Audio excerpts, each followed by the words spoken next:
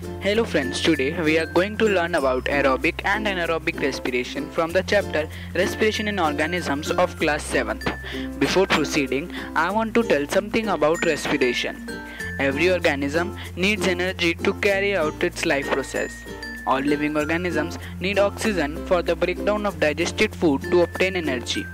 Respiration is the process of taking in oxygen, using it for the release of energy by the breakdown of food and eliminating the waste products like carbon dioxide and water.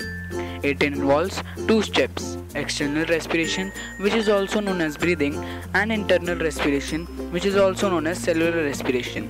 Cellular respiration is of two types aerobic respiration and anaerobic respiration. First, we will learn about aerobic respiration.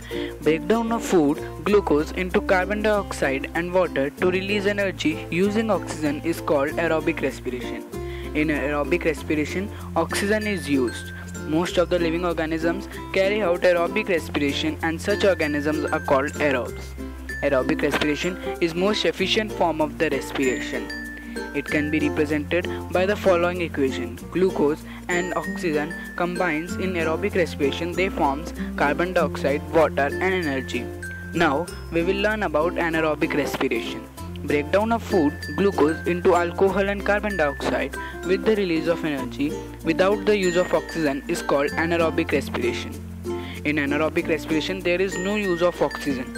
Only simple organisms like yeast and some bacteria carry out anaerobic respiration and such organisms are called anaerobes. The amount of energy given out in anaerobic respiration is much much less than in aerobic respiration. It can be represented by the following equation. Glucose without the use of oxygen when anaerobic respiration takes place alcohol it forms alcohol carbon dioxide and energy Difference between aerobic and anaerobic respiration. Aerobic respiration takes place in the presence of oxygen, but anaerobic respiration takes place in the absence of oxygen. There is a complete breakdown of food in aerobic respiration, but there is an incomplete breakdown of food in anaerobic respiration. The end products are carbon dioxide and water in aerobic respiration, but the end products in anaerobic respiration are carbon dioxide and alcohol. The amount of energy released in aerobic respiration is very large, but in anaerobic quick respiration, a very small amount of energy is released. So that's all from my side. If you like the video, please comment, share and click the like button and do not forget to subscribe our channel Free Studies for more interesting and knowledgeable videos. Thanks a lot.